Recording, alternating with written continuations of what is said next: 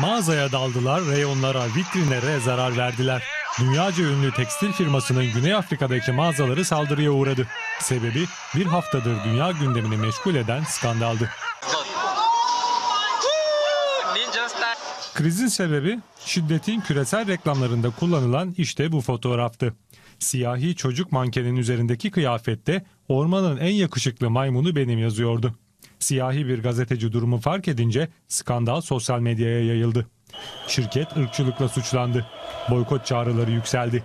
Firma özür dileyerek görseli hemen kaldırdı. Hatta soruşturma başlattı ama öfke dinmedi. Sonunda Güney Afrika'da bu görüntüler ortaya çıktı. Bir grup eylemci şirketin birçok kentteki mağazalarına saldırdı. Göstericiler dükkanlardaki rafları devirip kıyafetleri etrafa saçtılar.